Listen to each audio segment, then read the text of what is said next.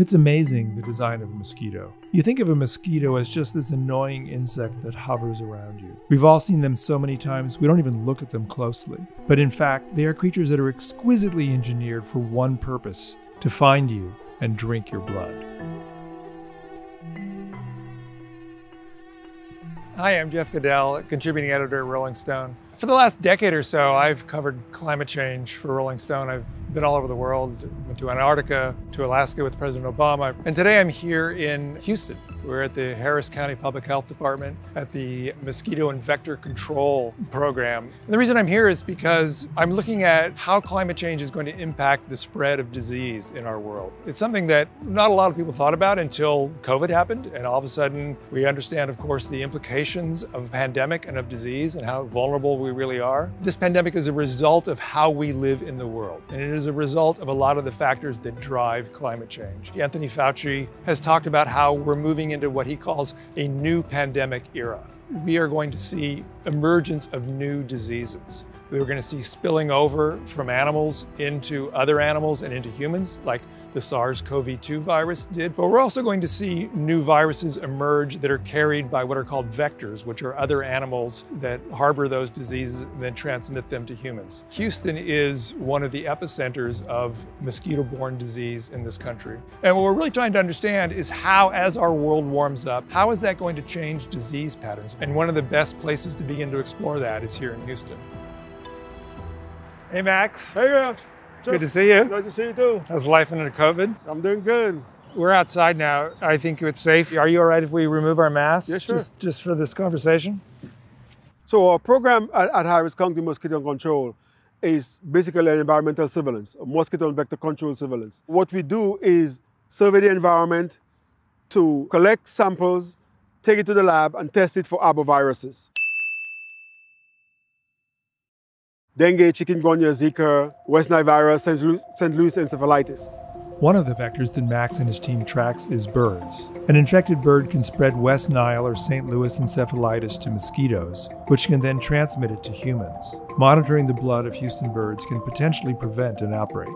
Birds typically they'll hit the net and they'll fly into one of these pockets. So you just pull them out, and that's how you get a bird out of a mist net. Oh, and I got another robin. You handle birds all the time. You know what you're doing. This is, I would imagine, stressful for the birds, but it doesn't hurt them. That's right. Quite often we'll let them go and we'll catch them again a month or two later and they'll be perfectly fine. Why do we need to catch birds? Birds are the wildlife reservoir for a lot of these mosquito vector diseases like West Nile virus, St. Louis encephalitis, Eastern and Western equine encephalitis. So by tracking what's going on within these host reservoirs, we can maybe predict where we're going to start seeing disease activity, hopefully before people start getting these viruses transmitted to them. Because it's not that a bird will give it to you directly, it's that a mosquito has got to bite an infected bird and then bite a human. When we go back to the lab, we'll centrifuge it so that we can separate the red blood cells from the plasma, then test the plasma for the antibodies to some of these mosquito vector diseases. The concern with a lot of these reservoir hosts like bats and birds for diseases is that they're highly mobile, right? I mean, mm-hmm. birds fly, obviously, but they not only fly in a neighborhood, they migrate, they move around. Right. So they're key propagators of the spread of these diseases. We've altered the habitat so much that these species that might normally not be coming into contact with people are coming into contact with people. Now put both your hands in a cup, and I'll just put her on your hands. Ready, set, go! Whoa! Off she goes.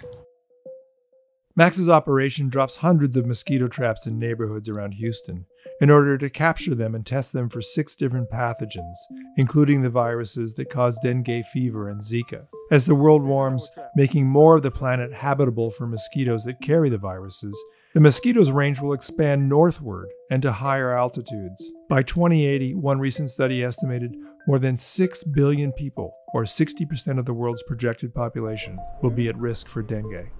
What makes this particular neighborhood such a sort of paradise for mosquitoes?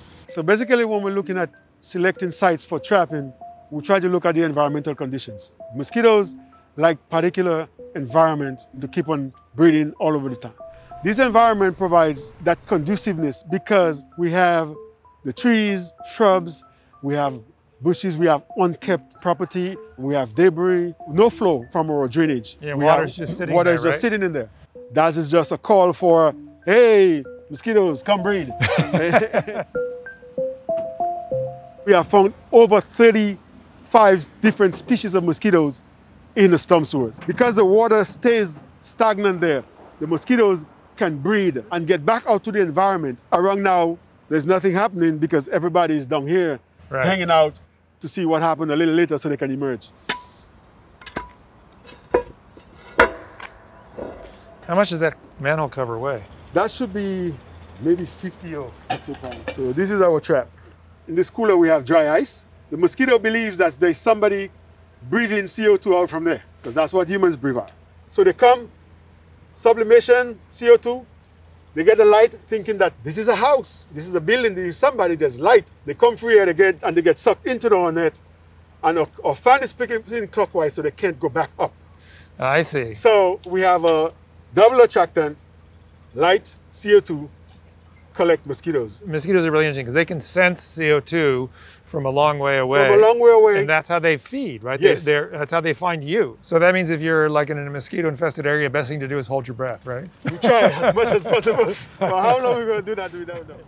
This is a lower income neighborhood. You have houses that are not as well built as they are in, Yes. you know, River Oaks, Houston, and rich neighborhoods. Right. People here are much more vulnerable, right? Yes. This is a great example of how the sort of impacts of our warming climate, of more disease here, more mosquitoes, is borne more heavily in a, a neighborhood like this than Right. it is in the wealthier neighborhoods. yes. Pressure is on the population to suffer from those either emerging infectious disease or endemic diseases. West Nile, Zika, dengue, chikungunya, more likely. An environment like this, as climate change, as man move around, as things happen, those mosquitoes have been able to, to adapt to environmental conditions and continue to propagate and continue to spread, spread arboviruses. But you know, one of the things that is really important thinking about you know climate change and disease is this question of disease surveillance and understanding where things first emerge. We saw Yes. that with COVID, understanding it first coming out in Wuhan, China, and the importance of seeing it early on.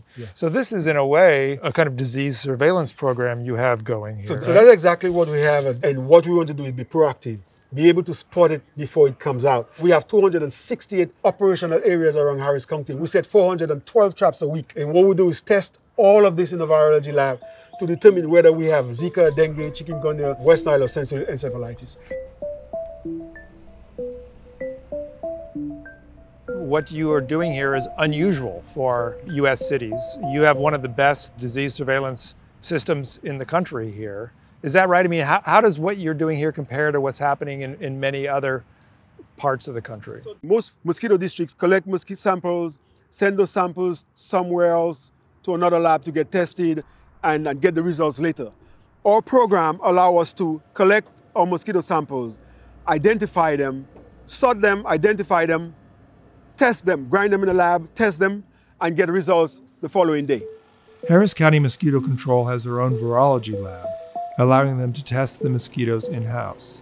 It's like the difference between a COVID test that's sent out to a lab and having to wait three days to find out if you test positive, or getting results confirmed right on the spot. We're gonna see what we collected. So basically we try to take everything out. So we have this. So let's go to the lab. So what I'm gonna do is try to identify the species that we collected. So I separate them out. Basically from just looking at them, I can tell they are all Culex quinquefasciatus.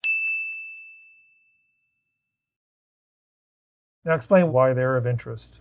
That's the species that spread West Nile, St. Louis encephalitis. Both viruses are endemic to um, Harris County, and that's our major species of interest. The proboscis is what most people would think of as the sort of stinger. Can you explain how that proboscis works? Because I, I think it's really important to, to kind of grasp what kind of incredible killing machines Yes. mosquitoes are. I mean, they're exquisitely designed to figure out where the blood is on your body uh, and, and to probe into your body in a way that allows them to be on you very quickly, right? Because they're they have a risk assessment they have to go through. Because they, if they linger on you too long, they're going to get swatted, right? Yes. The mosquitoes already programmed and they know where they want to bite an individual. They're going to find some vein somewhere, some loose soft tissue to get a blood meal. The proboscis inside of this little tiny speck you're seeing on this mosquito is a rod. The rod has parts in there.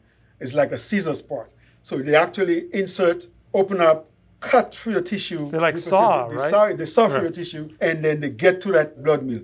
They separate inside and allow another part from, from inside of the proboscis to get in and to sap that blood. Before they do that, though, they're going to regurgitate whatever they have in the, in, in, the, in the stomach, and then they're going to suck up again from the human being. So, they puke into you. So they puke into you and they draw back. So if they're carrying a virus, if they're carrying dengue or Zika or West Nile or whatever, they're literally regurgitating it into Yes. your bloodstream. So kind of ubiquitous from one to one. So one mosquito can be in here and infect you or me or whoever else is there. So you also have an Aedes aegypti. They're supposed to be the elite mosquito, the sophisticated dude. They really are the mosquitoes that are best adapted to living with human beings. Yes, so the and peridomestic, they, they, they hang out. they they they basically they're like Labrador retrievers or something. Yes. They're like exquisitely designed to live around humans, right? Yes. They don't tell you anything. They don't say anything while they're there. They're not loud. They don't get drunk. But Culex get drunk and buzz in your ears and talk and say, hey, what's doing or what's going on before taking a blood meal. Right. It is just silent. And Aedes are, uh, you know, carry different diseases in Culex, and they carry, you know, dengue, Yes. Zika, Yes. yellow Chicken- fever. Chikungunya. When you collect a bunch of mosquitoes and you sort through them and you find Aedes, you're not happy, right? You don't know what it's carrying. Unless I take it to my virology lab and the virology run tests and tell me these are negative or these are positive for viruses, I don't know.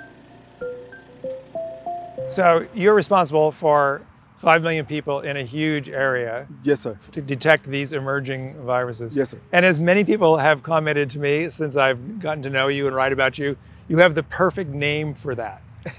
Yes, my name is Maxime Vigilant. it's like a superhero name. yes.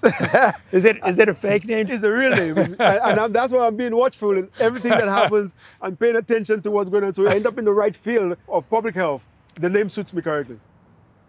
Obviously, this is a swamp. Where this city is Yes. built in a swamp, a bayou. So that's what it was built on. It was filled in Right. and expanded as they went along. Mosquitoes and disease are nothing new here. I mean, the capital of Texas was moved from Houston to Austin, in the early 19th century Yes. to get away from the mosquitoes that were causing malaria and other problems here. Right. So that's nothing new, but something is new, which is that we are changing our climate, right? And our, our climate is warming up. How have, have you seen changes in the Houston area? It's changing over the period in terms of temperature. For instance, we're sitting out here now in, in, in, in sleeves and no coat or anything else in January. Right. That's a long way from January 2020 or 2018 when it was colder. For over the last couple of years, we are able to collect mosquitoes and have numbers in January because of climatic conditions.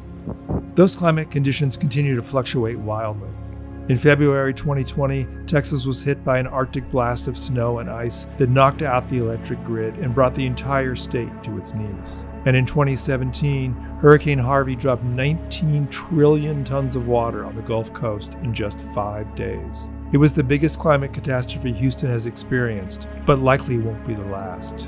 It's both tragic and ironic that Houston, the headquarters of the fossil fuel industry in America, is particularly vulnerable to the climate crisis, which will increasingly reveal itself in dangerous and unpredictable ways. Animals, like humans, move as the climate changes, carrying new diseases with them. Where the next pandemic emerges is impossible to say, but it's no surprise that Houston was the first U.S. city to record every major variant of the coronavirus, or that dengue fever and West Nile virus thrive here. The Gulf Coast has always been an epicenter of infectious disease, and as the climate crisis escalates, the risk that some unexpected pathogen emerges here will grow. Houston is a big modern city, but as the COVID pandemic has shown us, even a big modern city is no match for a tiny, invisible, and deadly virus.